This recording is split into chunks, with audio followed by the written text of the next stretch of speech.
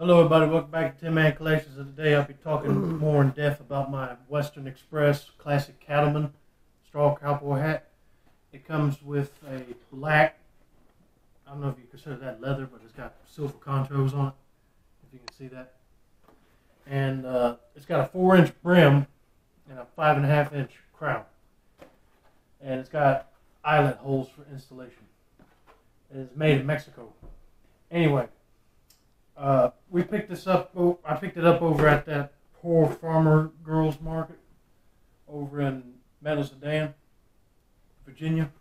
I Saw it. I'm like, I don't have a straw hat like this, so I picked it up.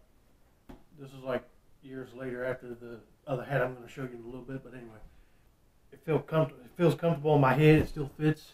But the only thing I just don't like is this. I'm not a fan of the flange. I said maybe later on I might steam it and try to bend it myself, but anyway, um, it's stiffened.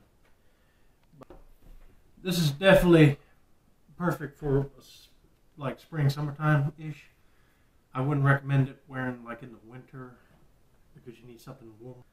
This one does feel comfortable on my head. It's got a black leather sweatband that says Western Express. I don't know if you can see that right there. No, it's right there, Western Express. But anyway.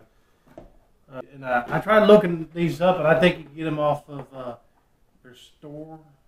Might have.